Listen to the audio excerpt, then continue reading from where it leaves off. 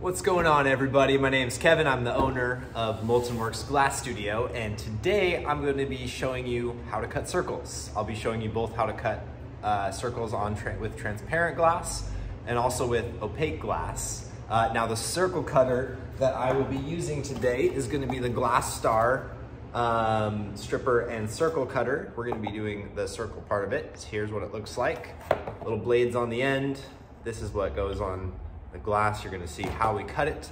And then I'm also going to show you two methods to breaking it out. So how do you get it, once it's scored, how do you break that glass out or what, what do you do with it? So we're gonna learn all that fun technique. Uh, if you guys have something that you wanna learn or a product that you want reviewed, um, provided I have it or I can get it, I will go ahead and review it for you. So please ask any questions, don't hesitate because I'm happy and excited to answer them for you. All right, so I've got my cutter. Now what you'll notice when you get your cutter, if you have the Glastar, uh, along the top is uh, measurements. Now that's gonna show you what the radius is. On the bottom, it's gonna show you uh, the diameter of the circle you're trying to make. So I, I use the diameter, it's a lot easier than the radius uh, with how it lines up. So I'm gonna do a nine inch circle today. So I'm making sure it's nice and tight. I marked right on the line there where it says nine. Um, you can't see it because it's covered, but it does say nine. Now, the glass I'm using is Spectrum, or sorry, Oceanside glass uh, and tile, the clear that they've created. So as I'm cutting my circles, uh, we wanna give a little bit of room on the edges. Uh, if you're a novice at cutting circles, I recommend giving yourself a little more uh, of an edge because sometimes it can be a little more forgiving that way. Um, but today I'm gonna cut circle from this corner here. Now I have a bigger sheet. You might also have a single sheet or something along those lines that uh, you can only get one circle out of. So I'm just gonna cut one. Now, before I start scoring, holding my thumb on the center, I'm gonna make sure as I swing it around that it's gonna be on the glass the whole time. Really need to press firmly. I like to start with my left hand as the guy that goes around. I'm left-handed though, so if you need to switch, you can switch it up. And I'm starting all the way to where I can't reach around anymore, pulling it around, and then I can do it all in one sweep. Sometimes if you need to stop, it's okay, just stop and then finish scoring. The key here is that you're only scoring it around once, um, and these blades, you will be able to tell when they get dull. They get uh, I cut a lot of circles so they get dulled pretty fast. Um, but once we got our circle here, uh, to get this out, the method I'm gonna show you for clear and transparent is actually utilizing a rubber mallet. Uh, it's a little bit harder. It's, sorry, it's not quite the rubber mallet. It's, it's a little more plastic-like. Um, you can find this just at any local hardware store. Uh, they'll have something like this. I like to use this technique because it's a little easier, um, in my opinion, to get clear glass out and just instead of doing the other method I'll show you in a minute. So the first thing we're gonna do, we've scored it on this side. We're going to now flip our sheet of glass over. I'm gonna flip it this way so it's the score circle is close to me. Get my hammer. Now that it's flipped over, the score side is down. I'm gonna lightly tap right on the scratch mark and what's gonna happen is that it's gonna break it all the way through. So again, light tap. This takes a little bit of practice to feel.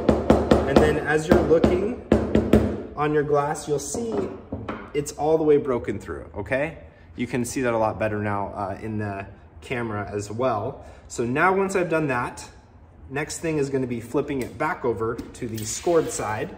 So gently flipping it back over. Again, if you have a small piece, it can be a little easier.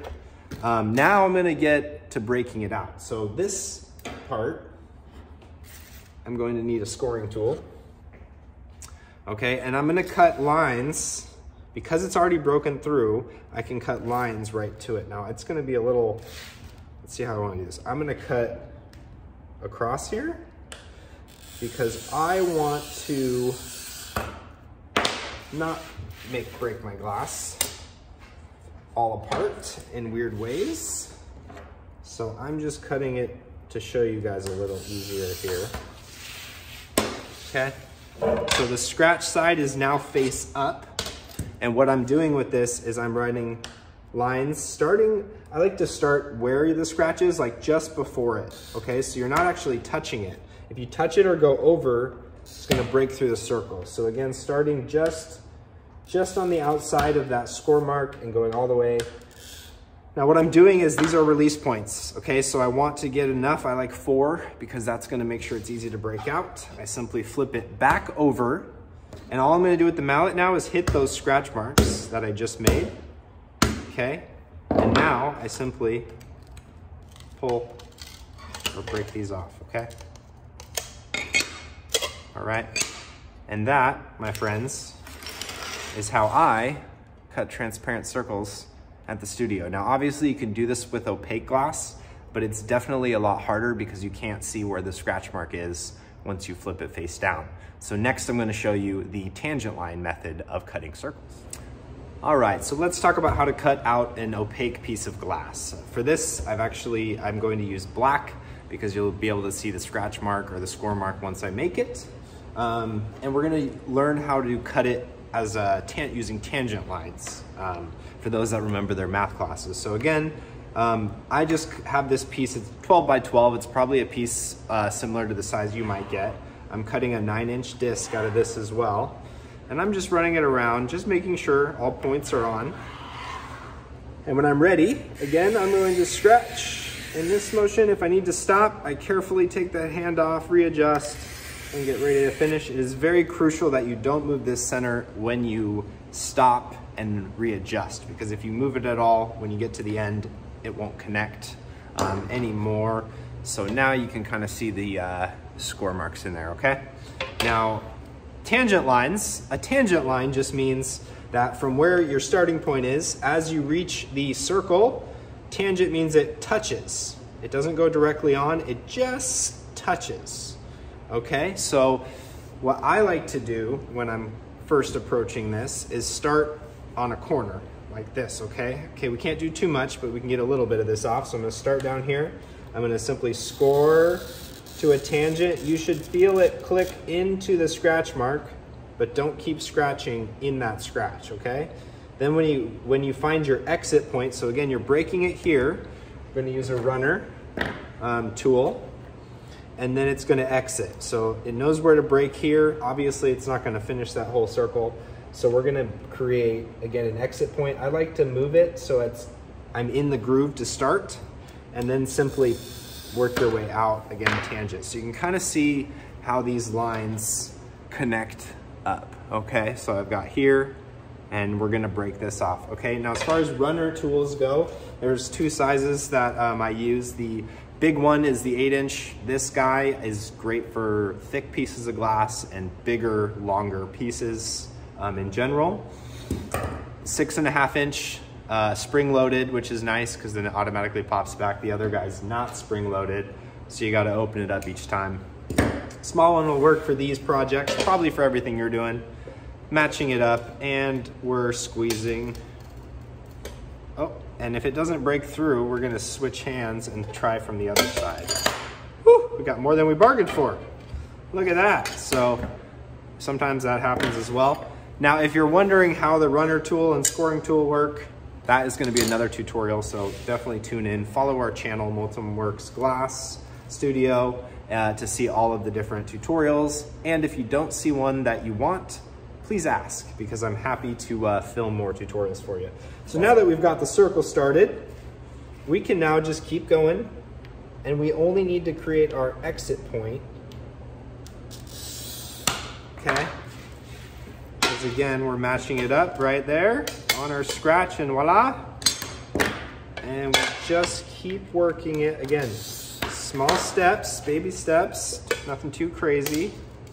And again, if it, if it doesn't look like it's breaking right away, switch, flip it around.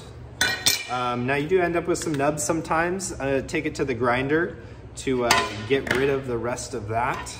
Uh, and then for here, creating the entrance point tangent line so that we can get this to break off as well. And this I might be able to just get just like that, okay? So that is how you cut a tangent line out of your circle. You end up with some nubs. This is where a Glastar grinder or other grinder comes in handy. Um, again, if you wanna see what the, how the grinder works and how to use it, another video, uh, but make sure to follow us and subscribe. Thanks everybody for tuning in to watching how we cut circles uh, with the Glastar Circle Cutter. Um, here's our final um, circles that we cut out today. Uh, I just wanna say there are many ways to cut out your circles. The, the hammer technique is, I'm pretty sure I'm the only one who really does that. I'm not sure of anybody else doing that. I could totally be wrong, uh, but find what works for you. Um, you know, it's, it's a matter of kind of touch and finesse and the more you cut glass, the more you're gonna learn how it works and how um, gentle or hard you need to be in certain situations. So all I can say is practice, practice, practice. Thanks for tuning in and we'll see you on another video uh, from Molten Works Glass Studio.